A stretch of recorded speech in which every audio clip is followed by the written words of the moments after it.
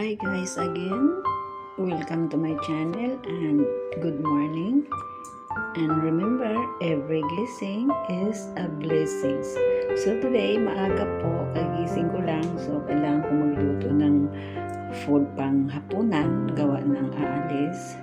Kailangan pag-uwi, may food na sa kitchen. Iniinit na lang namin yan ang drama ko. Iniinit, ilagay sa ref. Ang lutuan na ito is dinadamihan ko talaga para may laging leftover. May hindi kami makukutom. So, ito yung lulutuin ko ngayon is South Indian chicken curry. Kasi marami pong iba't ibang klase ng chicken curry. Merong Malaysian chicken curry, merong Singapore chicken curry, merong Chinese chicken curry, at meron din Filipino Chinese, Filipino chicken curry. Ang gusto ko pong lutuin ngayon is South Indian chicken curry. Kasi po, ito po yung recipe na walang bitsin, walang bitchin, walang ajinomoto. Ang magdala ng lasa nito ay ang ating sibuyas. Dalawang sibuyas po yan, regular size, eh, eh, chop finely, not so finely, kita nyo naman kasi nagmamadali ako. Dalawang kamatis po, meron akong dalawang black cardamom, apat na green cardamom, dalawang bay leaf, cinnamon stick. Yan po ay ginger garlic paste. Tansyahin nyo na lang po kung gaano kadami ang lulutuin nyo. Saka po, i-grind nyo. Ang chicken ko po, hindi po ako kumakain na may balat. So, yan po, inalis ko yan. Pinakita ko sa inyo. Huwag po kayo kumain ng chicken na may balat kasi cholesterol po yun eh. At ang ating, ang ating powder masala is coriander powder, cumin powder, turmeric powder. Optional po yung ang chili powder optional. Nasa inyo po gusto nyo maanghang. Ako kasi ayaw ko ng maanghang. So, ito yung niluluto ko lang. So, mag-start na po tayo. Ulitin nyo. Pagpasensyahan nyo na yung kalan ko. Hindi masyado malinis dahil busy ang show. Busy po ang host nyo. Kaya, tsaka, sa gabi ko nililinis yan bago, pag, bago matulog. Malinis talaga yan. Kaya gising lang hindi malago. It doesn't make sense. Sorry po. So, lagyan po natin ng oil. Pasensya na po kayo. Kaya gising lang. I-on po natin yung lights. Meron kasi akong lights sa ibabaw. Hindi ko ipakita sa inyo kasi walang linis. Pasensya na. Kasi busy ang inyong host. Uulitin ko, dalawang kamatis, dalawang sibuyas, black cardamom, card green cardamom, cinnamon stick, at saka bay leaf, ginger garlic paste, chicken, cut na. Kailangan po pag chicken curry, may buto-buto po yung lulutuin nyo na manok na chicken. Huwag po yung boneless. Hindi po masarap sa chicken curry ang boneless. Dapat po may mga buto-buto yung backbone ng chicken. Yun po ang masarap para sa chicken curry. So, ayan na. Una nating ilagay ang ginger garlic paste.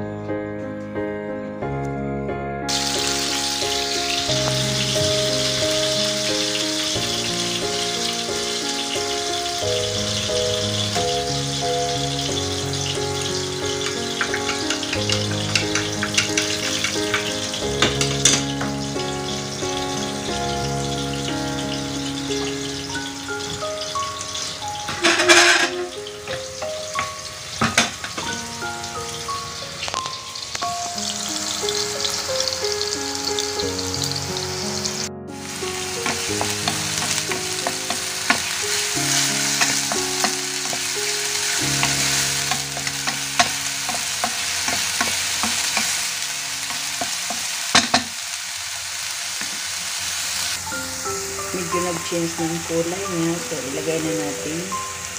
Ito. Ilagay natin ang ating cinnamon stick, cardamom, black onion, at chili.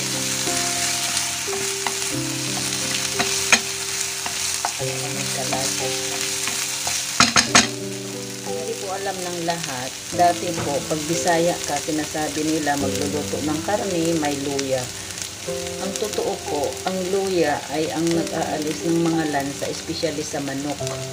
Sa lahat ng luto, sa mga English, merong luya. At sa Indian, may luya. At sa Americans, may luya. Kasi po, para maalis ang lansa ng karne. Ngayon, ilagay na natin ang ating dalawang sibuyas na finely chopped.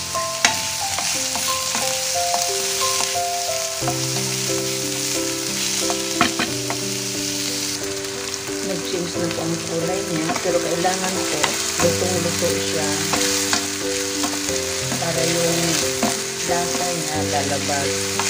Lulutuin medyo take too much time. Hindi ko lang sure ilang minuto bago maluto, pero kailangan magtyaga. Kasi ang lasa ng ating chicken curry ay nasa manggagaling sa sibuyas. Kasi wala siyang bitchin. Sa mga Pilipino, umaasa sila sa mga magic sarap, sa bitchin. Pero ako po ayoko kasi siyempre nagkakaedad na tayo, magkakasakit tayo.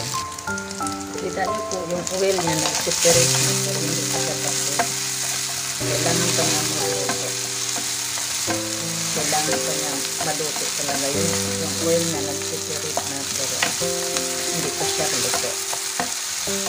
Bago po natin ilagay ang ating kamatis, kailangan lutong-luto yung sibuyas.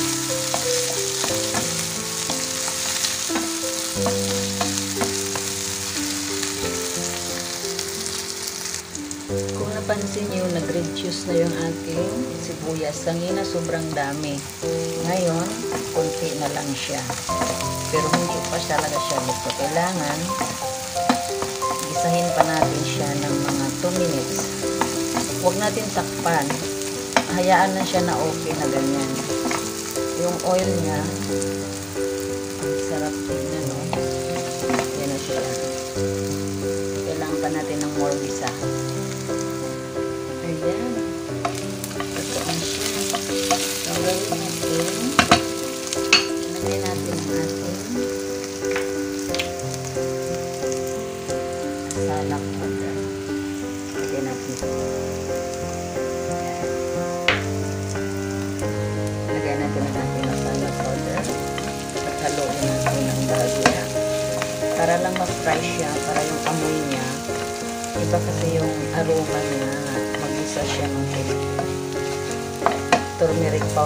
1 teaspoon.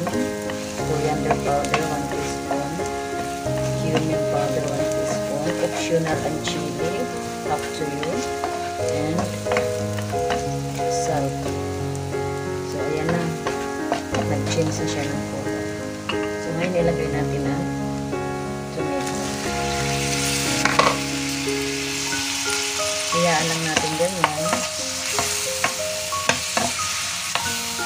Magtubig siya. So, ito na yung gravy natin. Ito po guys, wala po ito ang tubig. Ang tomato ang magdala ng gravy sa ating chicken curry. Ayan.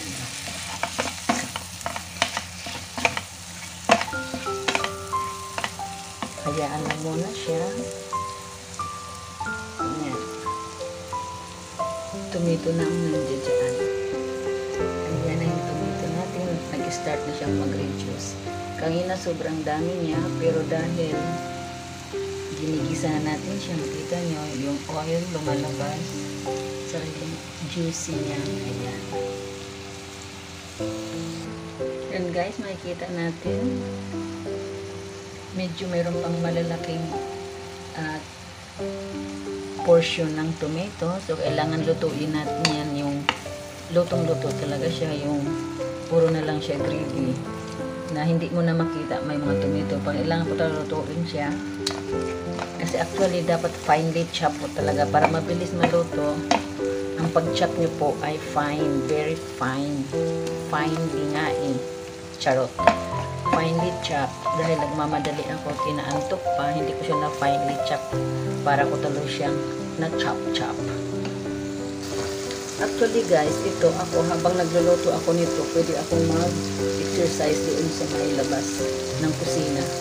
Kasi matagal siya eh. Kasi kailangan talagang lutong luto yung kamatis. So dahil mayroong pag malalaki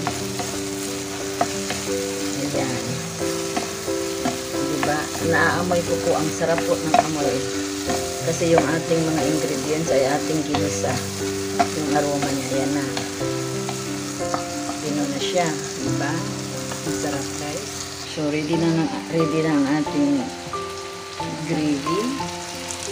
Ito na yung chicken natin. Ang nilagay ko sa chicken, nilagay ko siya, minarinate ko siya ng asin. Asin lang guys. Asin at paminta. Yan. So, ilagay na natin siya ating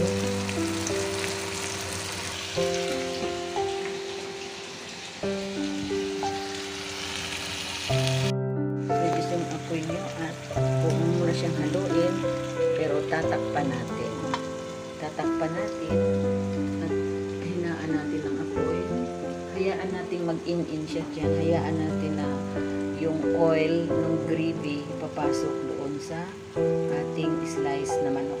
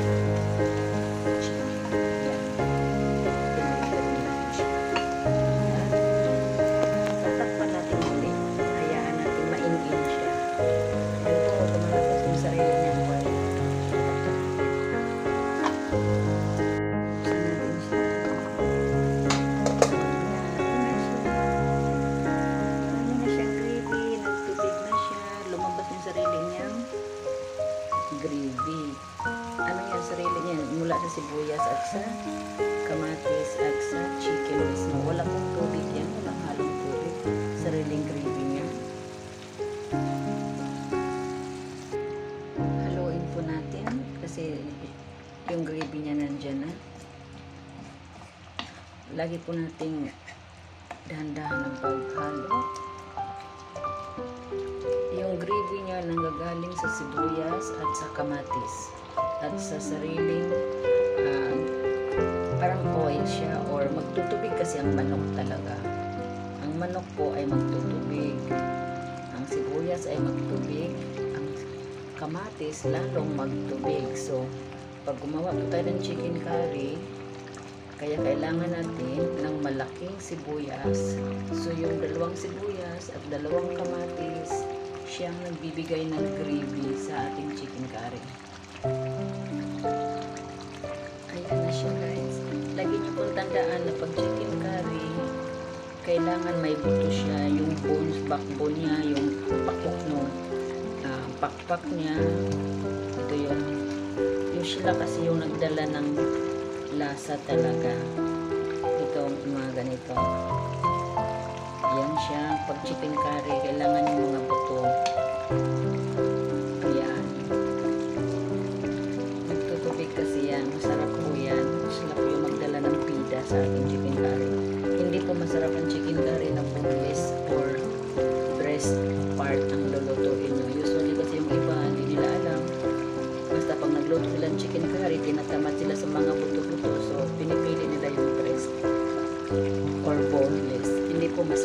Kailangan sa chicken curry, maraming kamatis, maraming sibuyas, upang magkaroon ng masarap na gravy.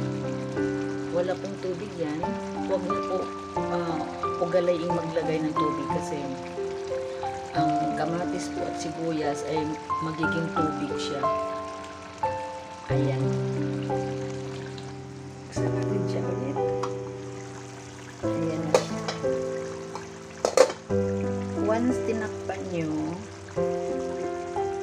iwanan mo siyang nakatakip, lalong dadami ang kanyang gravy. Dumami na yung tubig niya, di ba? Dumami yung gravy niya kasi tinakpan natin. Ganun po siya. Ngayon, tikman natin. Alam niyo naman ako si Tikim. Sarap. Sarap talaga. Ito na yan eh. Tikman natin. Churro.